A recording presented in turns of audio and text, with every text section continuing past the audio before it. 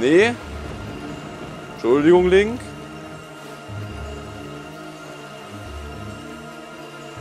Nee.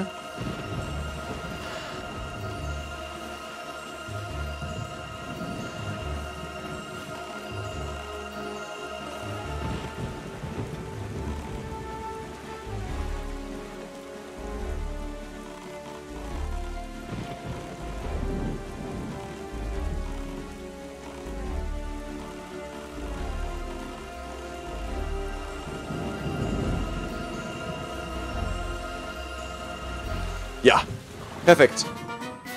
Unser neues Schätzchen. Was haben wir hier?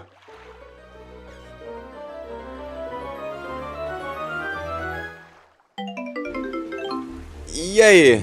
Rubine. Naja. Auf nach Norden.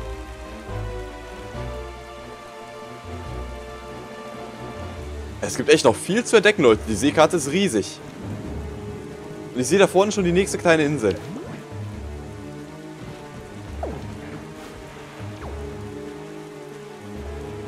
Und unser Ziel heißt dann letztlich natürlich Portemonnaie. Wow, gleich zwei Kampfschiffe. Ach du Schande.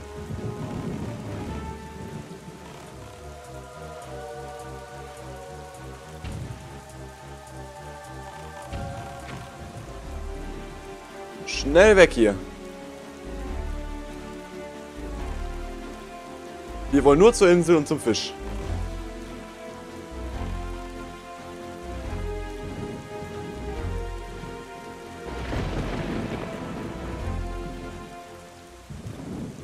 Und hierfür braucht man doch definitiv Sprengpfeile, oder?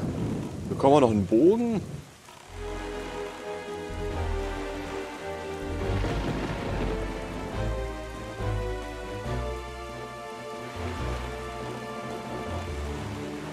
Oder wir müssen das zerbomben lassen von Gegnern, aber das kann ich mir ja nicht vorstellen. Lieber Fisch! Futter, Futter!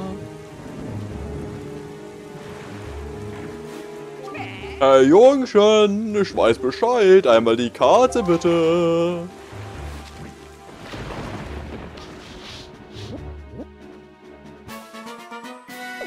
Ja. Aber hier kommen wir so, glaube ich, erstmal gar nicht weiter.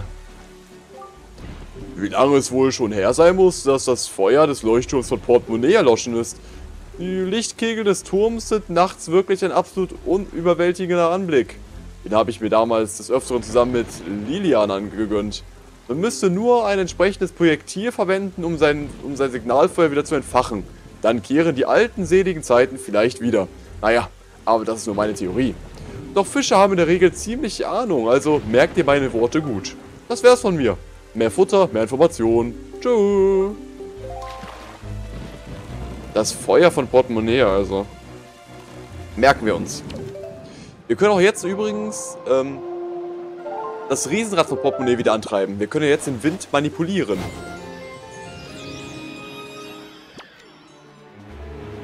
Und auf nach Osten.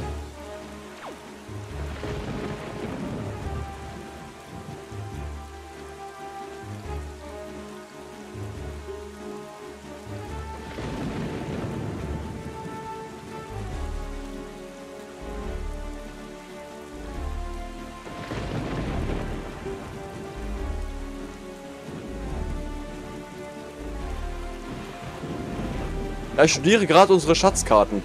Also das wird auch eine Menge Arbeit, die Schatzkarten mit der Seekarte abzugleichen und dann die Schätze zu heben. Auch das würde ich gerne irgendwann mal gesondert einschieben. Vielleicht, wenn wir jetzt hier den letzten Gegenstand noch gefunden haben, also Jabot gefunden haben. Danach können wir gerne mal ein paar Schätze heben.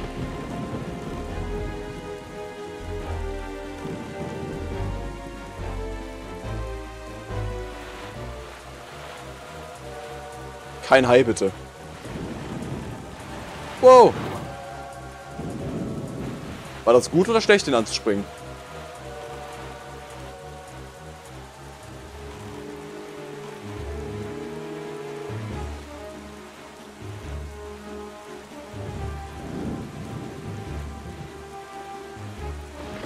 Boah. Das ist aber ein Wetter hier, oder? Wow. Schöner Turm. Und einmal leckeres Fischfutter.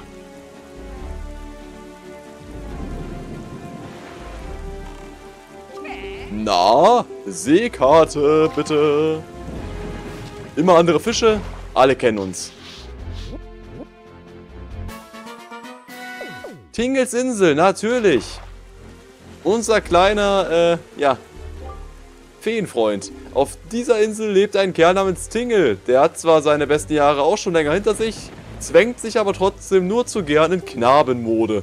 Allerdings soll er der Beste sein, wenn es um das Entschlüsseln von geheimnisvollen alten Karten geht. Ich denke, das beweist mal wieder, dass man Leute nicht voreilig nach ihrem Aussehen beurteilen sollte. Was? Allerdings habe ich gehört, sein kostbarster Dienst lässt sich der Gute auch ordentlich entlohnen. Da kennt er nichts. Wenn du also eher zu den Unbebuchten gehörst, kannst du dir das mit den Karten wohl gleich wieder abschminken. Das wär's von mir. Neues Essen, neue Informationen. Tschüss. Tingels Insel. Oh, ich sehe schon. ja, sehr unauffällig.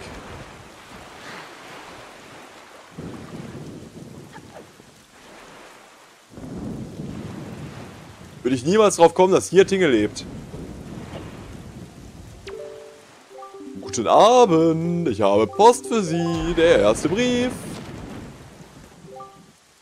Wenn du ein echter Ritter werden willst, dann sammle die Ritterwappen auf dass du heil zurückkommst, Vater Orca. 20 Rubine. Ja, Mensch, ich brauche keine Rubine. Ich habe genug davon. Dünne Steine und Uah. Mensch, nee.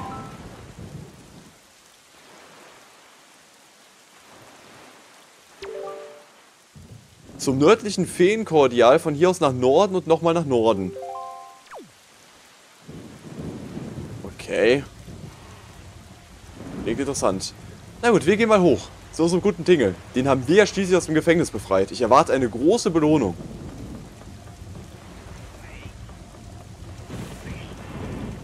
Was? Äh, du bist doch der, der die Tingelflasche benutzt, oder? Oh, Nein, schon in Ordnung, wenn du sie nicht benutzt. Äh, sicherlich hast du deine Gründe. Zerbrich dir bitte nicht den Kopf darüber. Nein, wirklich. Äh, ist allerdings sehr praktisch, die Tingelflasche, aber schon okay. Bloß keine Umstände. Auruck und Hepp. Und Hepp und Hepp. Puh, ist das schwer. Ich vertraue jetzt mal was an, ja?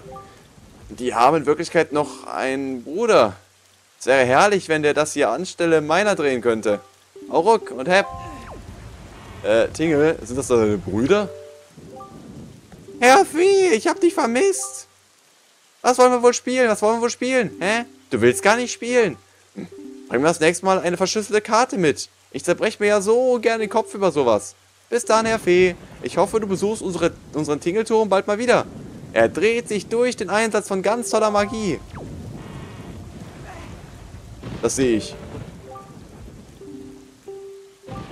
Bis dann. Soll ich lachen oder weinen? Ihr entscheidet. Ich tendiere momentan leider eher Richtung Weinen. Ein Herz vielleicht?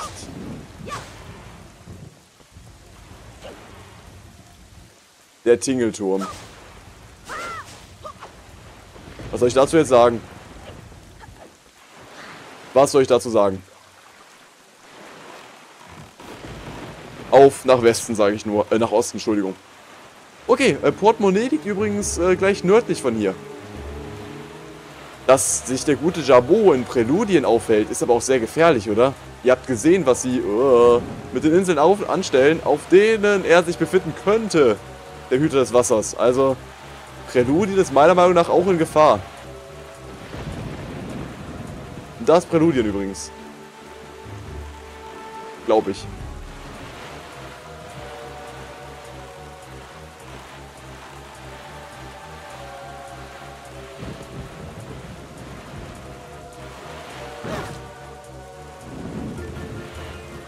Ah, wir nehmen Schaden durch das Gegenspringen auf jeden Fall.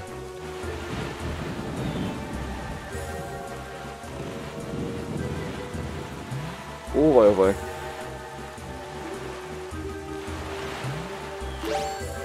Wir können bald auch neues Futter kaufen.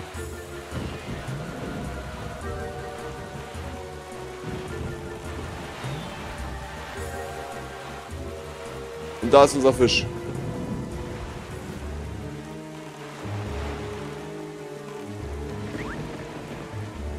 Ja, ja, die guten Fische. Alle leicht bestechlich. Hey Jüngchen, ich weiß Bescheid über die Region. Einmal die Karte und ich zeichne es dir auf.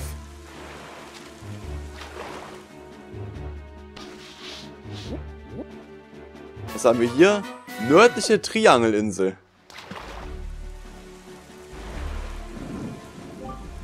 Es kursieren Geschichten, dass es in der Schule von Portemonnaie eine bezaubernde schöne Lehrerin geben soll. Allerdings macht ihr wohl eine Viererbande vor, von vorlauten Rotzlöffeln das Leben ganz schwer.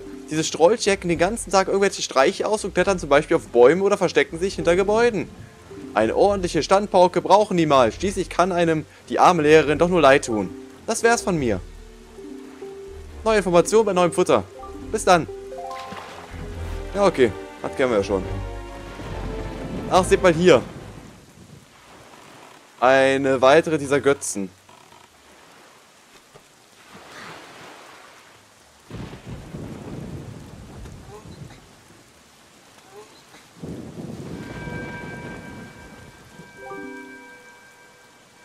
Umherirrender, der du einen Wegweiser zu den Göttinnen suchst, bring den Dämon zu mir.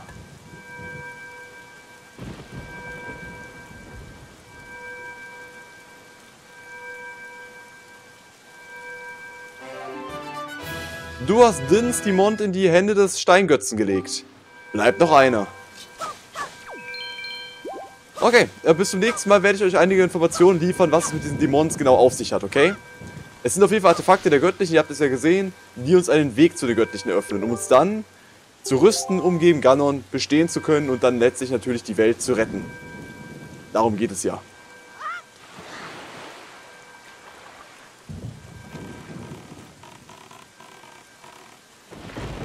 So. Ich würde sagen, wir segeln noch eine Insel weiter in diese Richtung. Und werden uns dann äh, aufmachen Richtung Portemonnaie. Das ist dort vorne.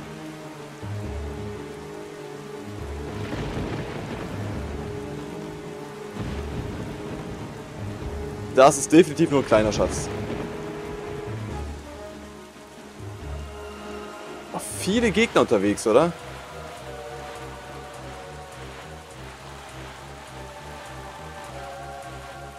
Gefällt mir gar nicht.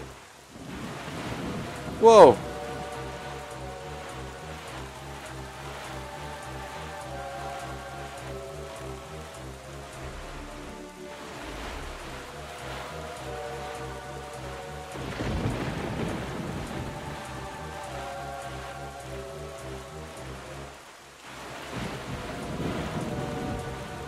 Böser Fisch.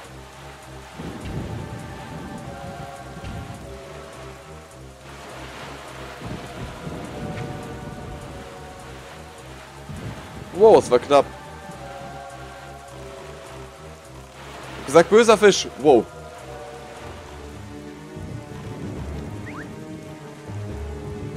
Okay. Hier haben wir eine weitere Muschelinsel. Auch hier können wir also erstmal nichts machen. Hey, einmal die Seekarte bitte.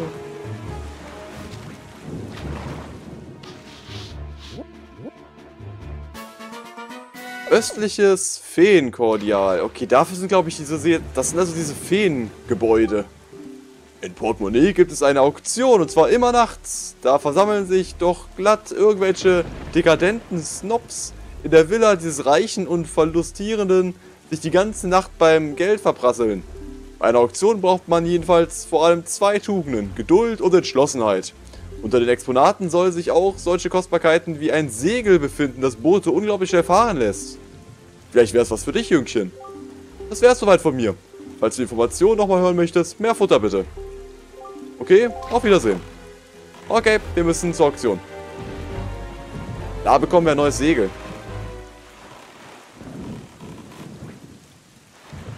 Gute Information. Auch hier sieht man wieder deutlich, wir bekommen auf jeden Fall noch irgendeine Art von Sprengpfeil oder sowas.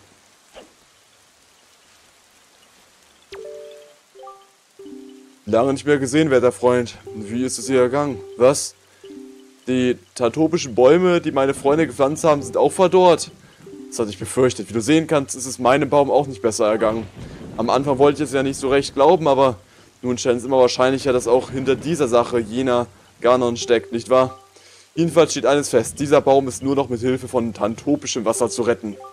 Werter Freund, bitte bring mir Wasser aus dem Wald Tantopians und beträufe damit diesen tantopischen Baum. Ich bitte dich wirklich inständig. Ja, gerne, aber... Das wäre von hier sehr, sehr aufwendig, von hier aus. Da müssen wir später einfach nochmal eine große Rundfahrtour unternehmen und dann alle Bäume abklappern. So. Von hier aus müssten wir dann jetzt nach Norden.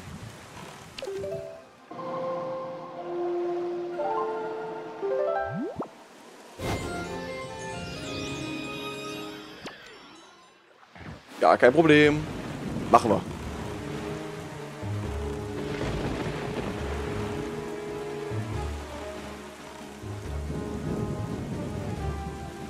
Okay, das da rechts ist Draconia, sehe ich gerade. Macht doch Sinn.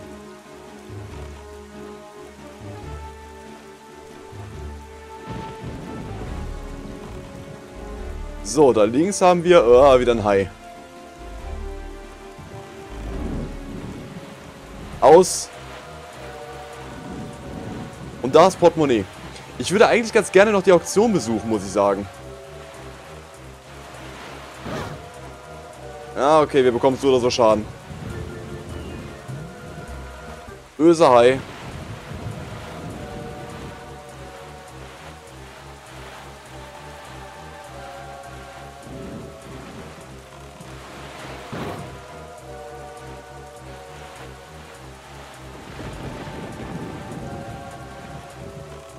Böser Hai. Oh.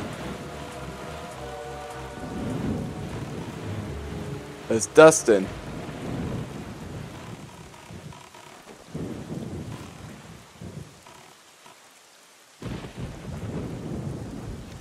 Das sieht mal sehr interessant aus.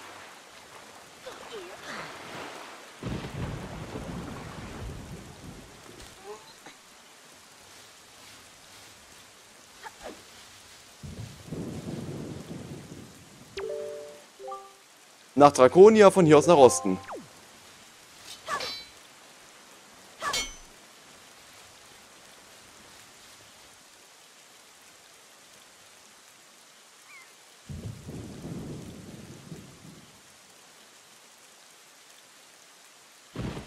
Wie komme ich da denn hin?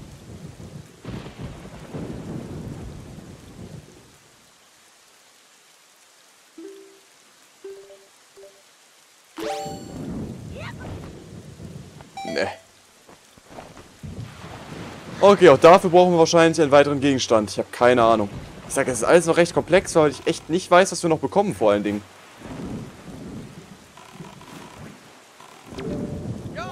Yo, Junge!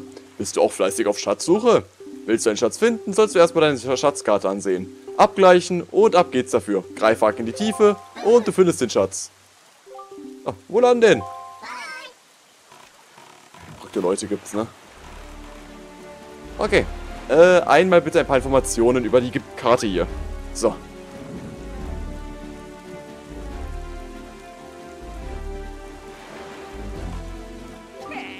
Hey Jüngchen, du weißt Bescheid über die Region. Bitte mal deine Karte.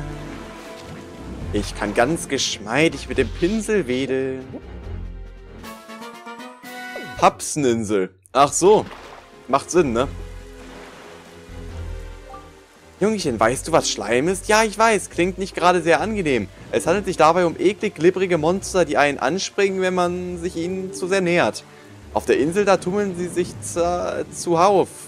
Kannst dir mal einen Abstecher hinmachen, wenn die nach einer kleinen Expedition ins Untierreich ist. Da fällt mir ein, dieses Elixierbrauer aus Portemonnaie treibt sich da ab und an rum. Ich frage mich, was er dort eigentlich sucht. Das wär's soweit von mir. Falls du die Information noch einmal hören möchtest, brauche ich mehr Futter dafür. Also, bis dann. Da ist der Elixierbrauer manchmal. Das ist natürlich sehr interessant.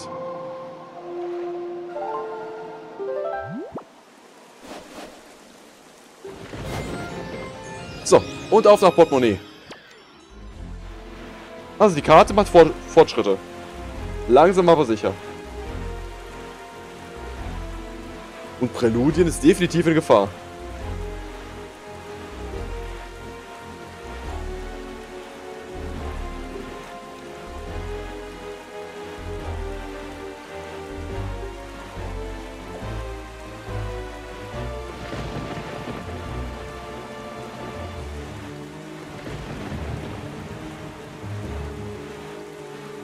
Ja, ich habe gerade mal die Seekarten durchgesehen. Ach, Portemonnaie.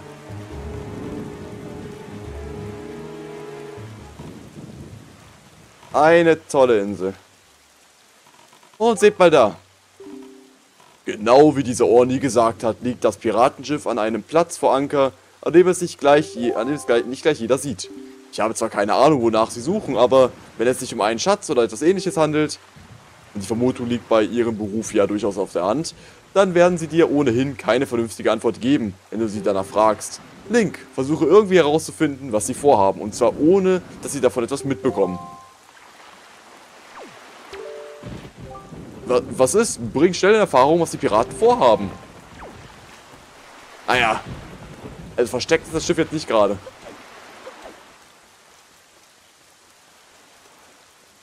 Wir sind zurück auf Portemonnaie, aber irgendwie ist ja eine ziemlich trostlose Stimmung.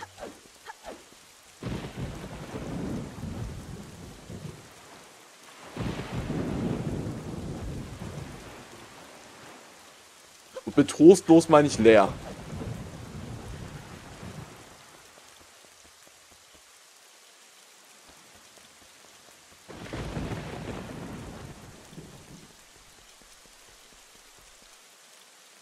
Oh, wer ist das denn? Ähm, hier ist das Auktionshaus, oder? Ich würde gerne äh, tatsächlich...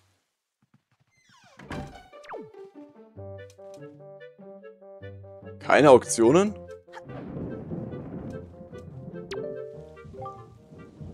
Heute Nacht scheint es wohl keine Auktion zu geben, aber das braucht einen ja bei diesem Sturm nicht zu wundern. Ja, das stimmt. Der Sturm ist wirklich merkwürdig. Kann ich verstehen.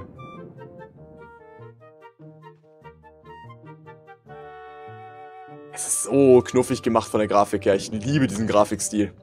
Was ganz, ganz anderes als Twilight Princess, aber er ist wirklich so gut umgesetzt.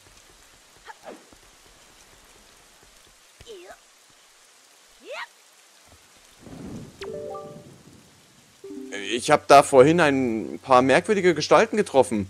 Habe ich hier noch nie zuvor gesehen. Sie waren auf dem Weg zum Bombenladen. Wer waren die bloß? Ja. Äh, ja. Ich weiß genau, was wir machen müssen. Ganz einfach.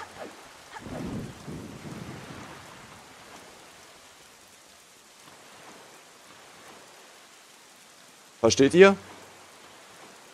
Ja, der Eingang übers Dach, den wir schon gefunden haben, ist nicht umsonst da. Die Piraten sind also hier im Bombenladen. Wollen die den Durchgang echt aufsprengen?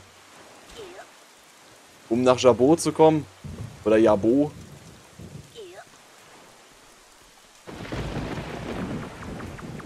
Das wird spannend. Ich bin gespannt.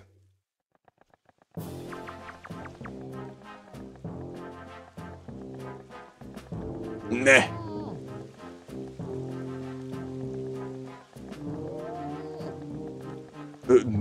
Nimm's mal nicht persönlich. Und an den Schatz um an den Schatz ranzukommen, brauchen wir nun mal Bomben, kapiert? Naja, kannst es aber auch als gerechte Strafe für deine üble Halsabschneiderei ansehen. Krumme Geschäfte mit Piraten machen wollen, mein Lieber? Da brauchst du dich gar nicht so zu wenden. Genau. Aber alle Achtung, dass du diesem eingebildeten Pest, äh, Postvogel diese Information entlocken konntest. Äh, hä? Ach das. Schon als ich dieses, diesen kleinen Link oder wie der heißt, das erste Mal sah, da war mir klar, dass auf Präludien irgendwas versteckt sein muss. Deswegen tat ich auch so, als wäre ich mächtig besorgt um den Bengel, als wir dem Postboot begegnet sind. Tja, und da hat er dann eben gezwitschert wie eine Nachtigall. Ha. Einfach famos, Gonzo. Zumindest was das anbelangt, Hast du echt ein Gespür fürs Detail. Gerade eben hätte ich echt mit einer anderen Stimme sprechen müssen. Also gerade eben die Erklärung mit dem Entlocken und sowas hat Gon zu rechts gesagt. Naja. Äh, man könnte aber auch sagen, du bist ganz und gar durchtrieben. Hm. Wenn du mit all deiner Durchtriebenheit und Captain Terra mit all ihrer Schleue... Schleue? Okay. einander heiraten würdet, dann wärt ihr zwei das dynamischste Duo und wir alle zusammen die glorreichen Sieben der Weltmeere. Eine Anekdote. Ihr könnt die größten Piraten aller Zeiten werden. Äh, Laberkopf, ich werd ja noch ganz rot bei dem Gedanken, red keinen solchen Unsinn. Hast du gehört, Captain Tetra? Was sagst du dazu? Über den Witz kann ich nur müde lächeln. Und jetzt hört endlich auf, hier Faxen zu machen und ladet die Bomben ein. Sobald sie auf dem Schiff sind, setzen wir Kurs auf Präludien. Äh, was? Ist das dein Ernst, Captain? Aber wir waren doch schon so lange in keiner Stadt mehr. Warum schlagen wir uns heute nicht ordentlich den Bauch voll und fahren erst morgen früh los? Komm schon! Also, mir wäre es ja recht. Ich stimme dir natürlich immer zu, Captain aber die anderen haben sich schon so darauf gefreut und es bricht mir das Herz, sie enttäuschen zu müssen, weißt du? Komm schon, lass uns erst morgen früh auslaufen. Na, was sagst du?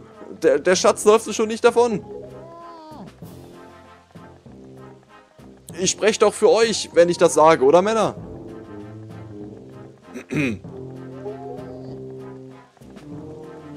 Bei euch ist wohl wirklich Hopf und Malz verloren, was? Ihr habt doch eu... Ihr habt Ihr habt doch auch diese verwüstete Insel gesehen, oder etwa nicht? Wenn wir uns nicht beeilen, dann wird Präludie noch das gleiche Schicksal ereilen. Nanu? Irgendwie klingt das ja beinahe so, als wärt ihr mehr am Wohl dieser Insel gelegen als an dem Schatz, Captain. Was sind das für Unterstellungen? An diesem schnöden Eiland interessiert mich natürlich nur der Schatz.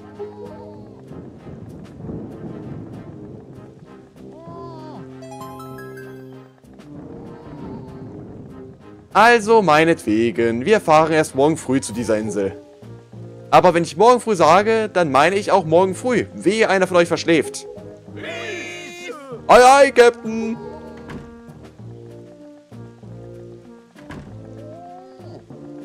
Ach, Captain. Wie lautet gleich nochmal die heutige Parole? Hast du das etwa schon wieder vergessen, Marco? Du bist echt die Höhe, Mann. Die heutige Parole lautet Schlund. Wenn du ihm nicht richtig antwortest, dann lässt sich Nico draußen versauern. Er lässt bei so etwas nämlich nicht mit sich reden. Da ist er stur wie ein Bock. Also, noch einmal zum Mitschreiben. Die heutige Parole lautet Schlund, klar? Schlund, genau. Wenn die noch einmal Schlund sagen, ne?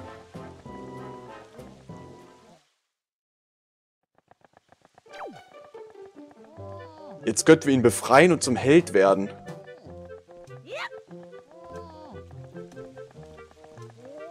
Oder eben auch nicht. Der Verbomben mitnehmen. Ja, recht haben sie ja, ne? Seine Preise waren ja schon sehr, sehr, sehr, sehr... Äh, ja, kreativ. Na gut, es geht also gemeinsam mit Captain Tetra nach Präludien. Ich freue mich schon. Ich freue mich schon drauf. Ihr habt gesehen, sie hat uns gesehen und sie weiß Bescheid. War aber klar. Sie ist ja auf unserer Seite. Und natürlich möchte auch sie, dass sowohl Präludien als auch unsere Schwester am Leben bleiben und dass nicht alles zerstört wird. Hey, Bötchen? Oh, was ist Link? Äh, hast du etwa die Losung vergessen? Die Losung lautet... ich noch einmal diese blöde Losung Schlund höre, ne, dann, dann werde ich zum Schlund. So. Einmal ein bisschen shoppen und beim nächsten Mal geht's dann auf nach Br Was ist denn hier los? Ausverkauf oder was? Hereinspaziert. Kaufen, verkaufen. Liegt an dir. Ja. Wie immer, gib mal her damit. Hat denn keine Putputfrüchte mehr? Betäubst mich.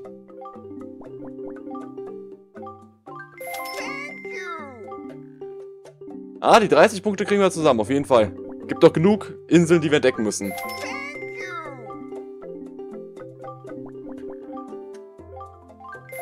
So.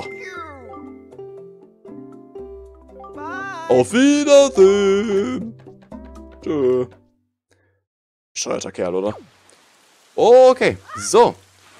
Also Leute, wir sind zurück auf äh, Portemonnaie und werden beim nächsten Mal dann, wie bereits gesagt, das Piratenschiff betreten. Ich freue mich schon. Ja, der geknebelte Bombenverkäufer bleibt geknebelt, bis er verhungert und elendig stirbt. Und wir werden gemeinsam mit der Piratencrew, ich schätze mal, ich schätze mal undercover nach Präludien segeln.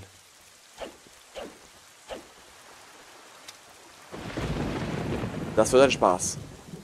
Na gut, ich bedanke mich vielmals fürs Zuschauen. Freue mich aufs nächste Mal mit The Legend of Zelda, The Wind Waker HD. Und langsam nimmt es Würze an, oder? Wir haben zwei dieser komischen Artefakte zu den Götzen gebracht, es fehlt noch ein drittes und das führt uns nach Präludien. Was also umso interessanter wird. Wir könnten natürlich auch beim nächsten Mal zunächst noch einmal äh, ja, ein bisschen hier durch die Gegend streifen und vielleicht mal versuchen, wobei beim Gewitter kann man ja eh nicht viel tun. Aber wir können noch mal, ja, wobei auch das macht nicht viel Sinn, oder? Das Riesenrad anzuschmeißen. Ich würde gerne erst mit dem Piratenschiff weitermachen, da der Sturm wirklich furchtbar ist.